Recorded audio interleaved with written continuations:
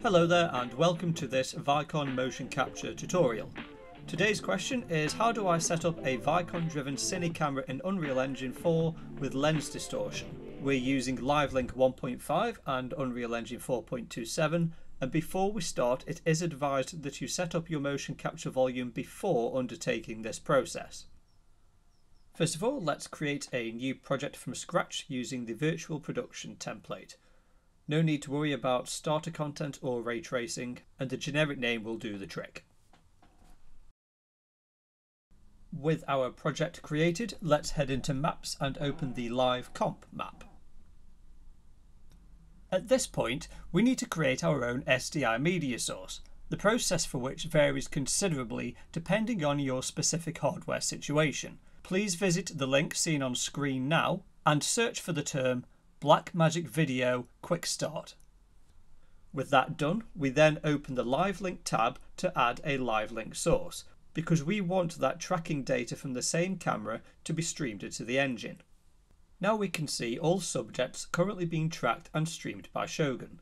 Let's select the Cine camera actor within our scene because this is what we want to link our hero camera to. We're going to come down to Details, Add Component and select Live Link Controller. With that new component selected, we have a Live Link Details panel further down.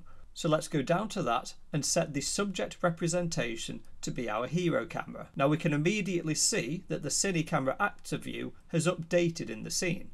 Further down this section we have role controllers. So let's change the camera role to Live Link Vicon Camera Controller. Finally, let's select the Cine camera actor once again and in its details panel come down to current camera settings, manually adding the sensor width and height which results in the focal length being updated automatically. And with that done, the camera is all set up, but let's add a prop to the scene and interact with that to test our distortion. I'm going to drag in a katana as it's roughly the same size and shape as the object I'm streaming from Shogun. First, we need to reset its location values to each be zero, putting it in the center of the environment. I've added the LiveLink controller component just as we did with the Cine camera, only this time we wish to use the transform role. Now if I move over to the object in the viewport, we can see it's being tracked nice and smoothly.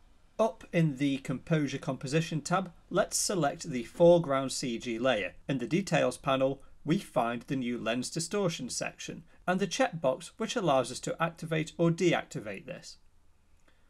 Now if we take a look at the final composite, each layer is looking correct with distortion applied. If you have any questions about this process or others related to Vicon motion capture, please don't hesitate to get in touch via support at vicon.com. Thanks for watching and we'll see you again soon.